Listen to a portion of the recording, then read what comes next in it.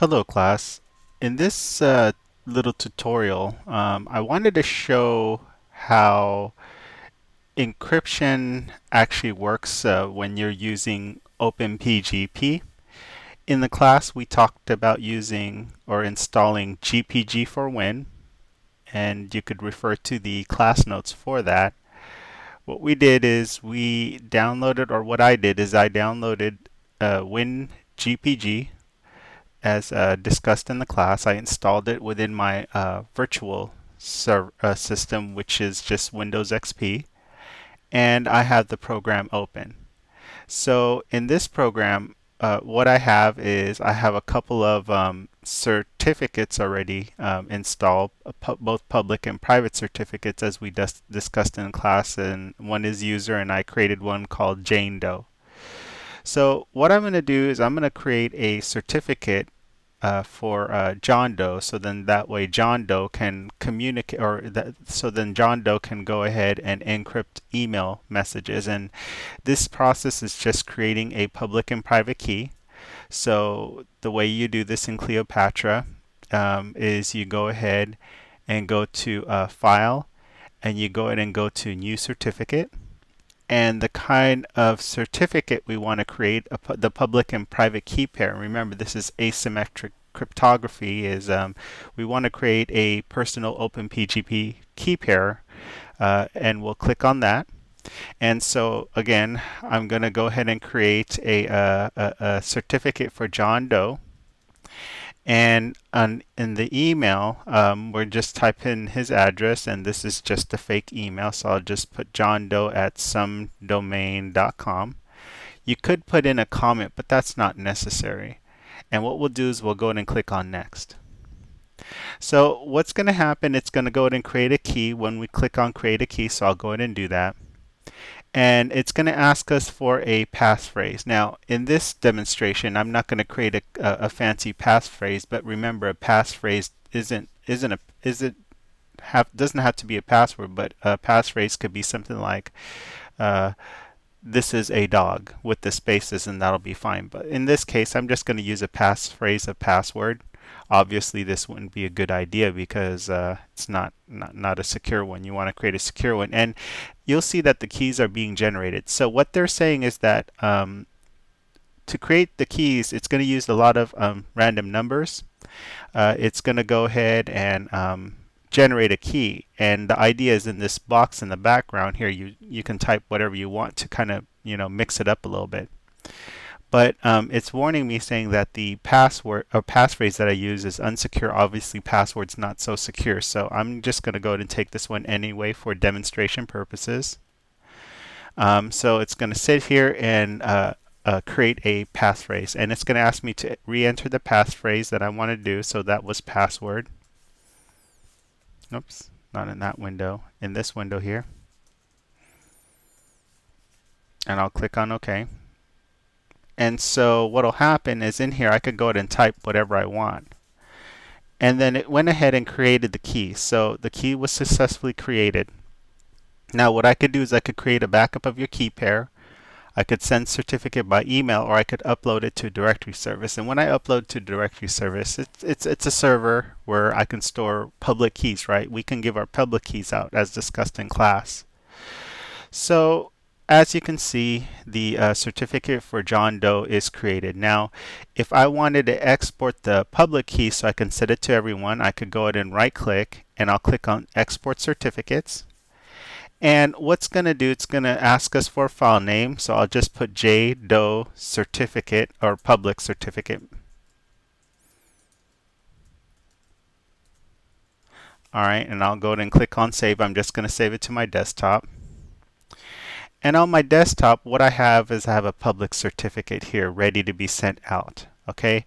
Now, if you want to know what the uh, public certificate looks like, um, what I'll do is I'll open up Notepad because all it is is a text file. All right. And um, when I open up Notepad, I'm going to go ahead and load this .asc file um, on there. So it shouldn't, you know, hopefully this thing will um, won't, won't take too long. But let me open up Notepad again. looks like my uh, virtual system. Okay, here we go. And so what I'm going to do is I'm going to open up that desktop or that, that ASC file. I'm going to change this to all files here.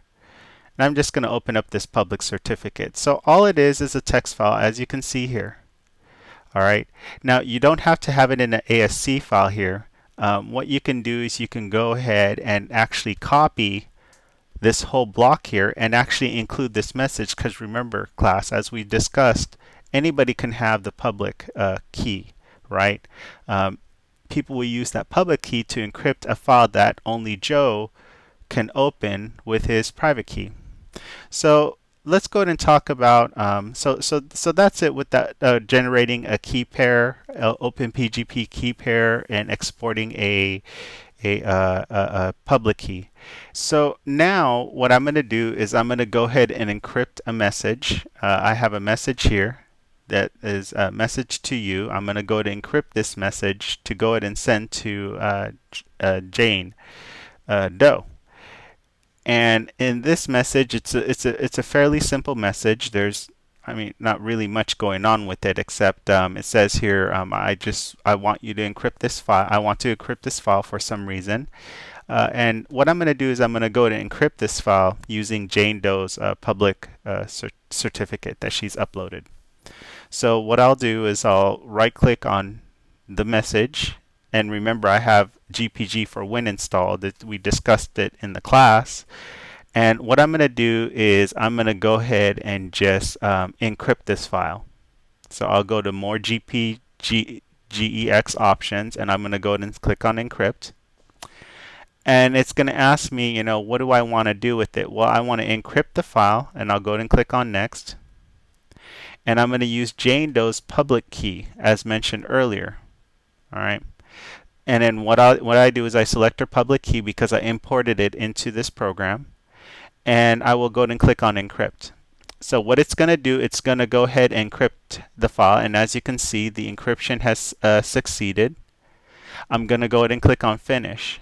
So notice that here is the original unencrypted file, but this file here is the encrypted file. So this file that I have here, this message to you .doc.gpg is the encrypted file. And what I would do with this file is I would email this. Now if anybody was to see this file here, they wouldn't be able to do anything with it anyway because remember that this message is encrypted and because this message is encrypted, um, you know, it, you would need to have a, a private key to decrypt it. So let's go ahead and decrypt this. All right, and the reason why we decrypt this, uh, we can decrypt this file is because I have Jane, uh, you know, I have Jane Doe's private key. So again, remember that you don't share the private keys um, out there because uh, you don't want to share your own private key because anybody could encrypt the message on behalf of you. Um, and for demonstration purposes, I do have the uh, encryption, uh, the private key. So what I'll do is I'll go and right click and I'm going to go ahead and decrypt this message. So I right click and go to decrypt. Now it's going to say, all right, well, you want to decrypt this file here. Where do you want to um, output it to? And I'll just throw it back on the desktop. Okay. Um, actually, what I'll do right quick is um, I'm going to throw this old message away because, you know, it's the encrypted file. I'll empty out my recycle bin. Um, I, I, don't want to uh, have that file on there because it might conflict. So I don't have the file anymore. It's, it's, it's ready to be encrypted or decrypted, excuse me. So it's going to ask me where do I want to ex export that. All right. Uh, what is the input file, which happens to be message to you.doc.gpg. And remember, this is the uh, encrypted file, and I'm using my private key to decrypt it.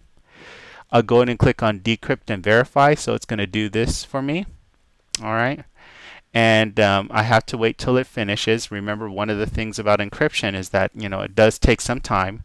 Now, in order for me to decrypt it, I have to I can't just decrypt it. I have to also provide the passphrase that I set up for this key. So I'll go and type in the passphrase